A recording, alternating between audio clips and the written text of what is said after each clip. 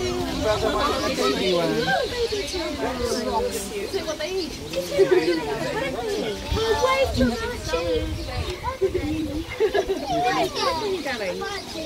Can you see them? Can you see them? Come over here, Tiago. Get down. Sit up. Come on this side. Come on this side, Tiago. Real, real cute. Big turtles back there.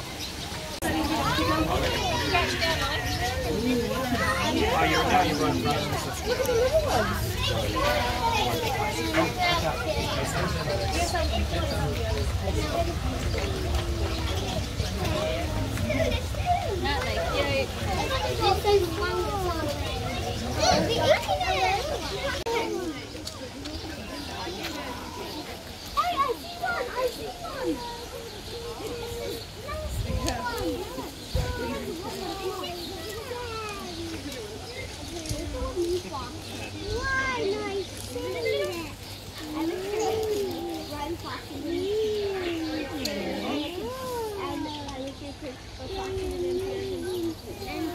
And I could fight them.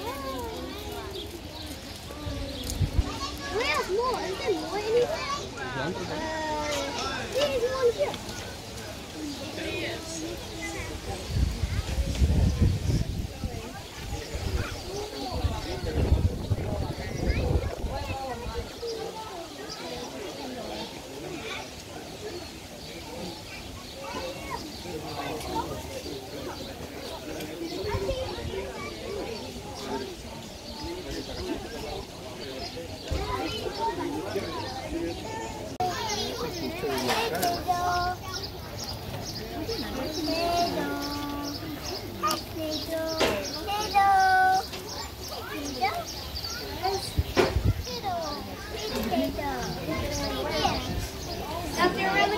Thomas encounter, uh, enclosure you're about to start the encounter, which means I'll be talking about them a little bit, giving you some background on our tortoises and grass tortoises in general.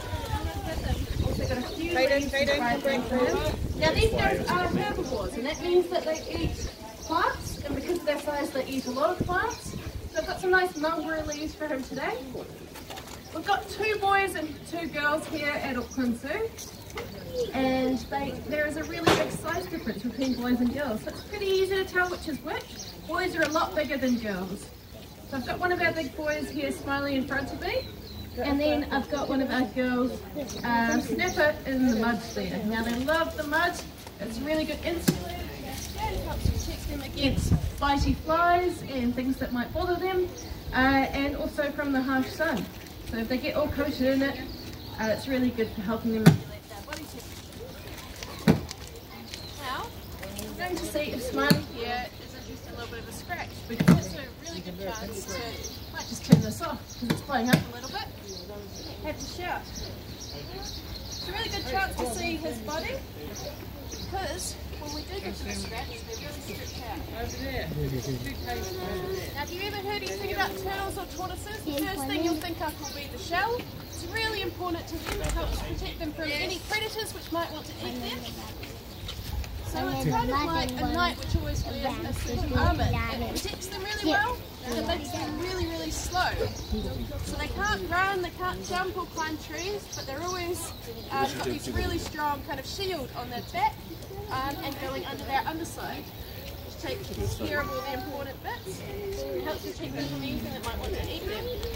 Now, the only other vulnerable bit on a tortoise is the head. Um, just like us, that's where the brains are, they need to protect that. So if they are worried about something, they can pull their head all the way back into their shell.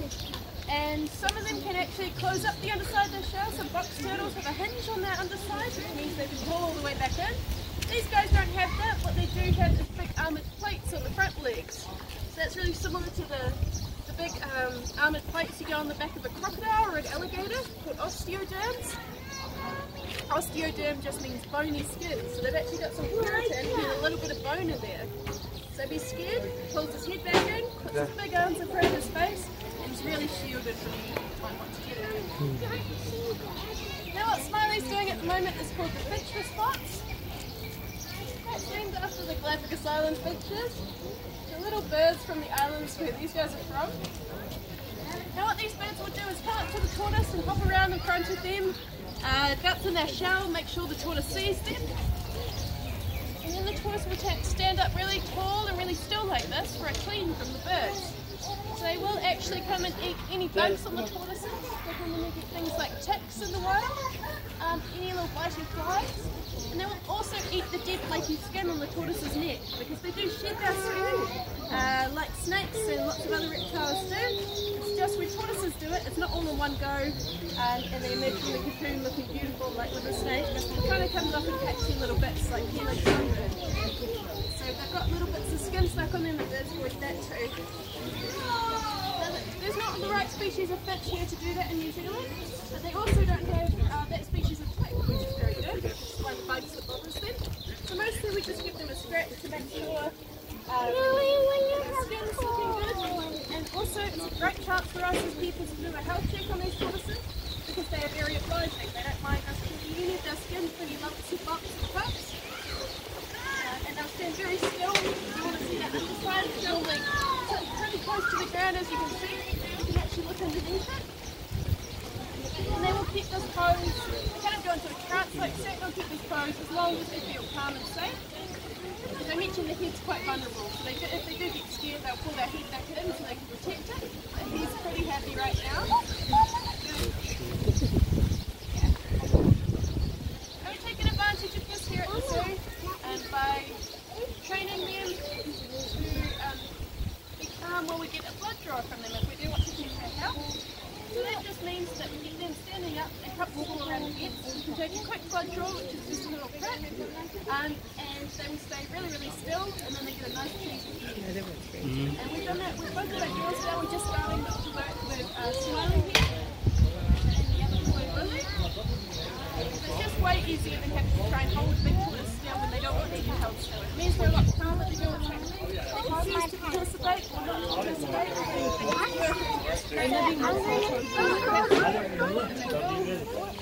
जो वर्जो kids वाले था वर्जो जाओ ये जो वर्जो जो kids ला दिया वर्जा वर्जा वर्जा वर्जा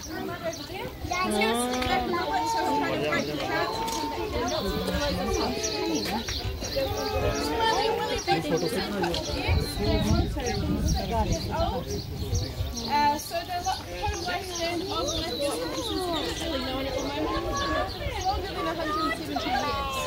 Olha o kit, cabecinha em pé. Olha só. Pescocinho. Ah, olha aqui de cabeça. Pescocinho em pé. Pescoço. É.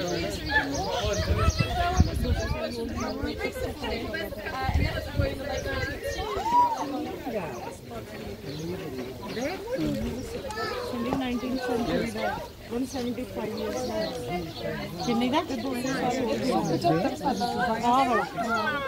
just smaller because they're girls. They're only ਜੀ This girl here is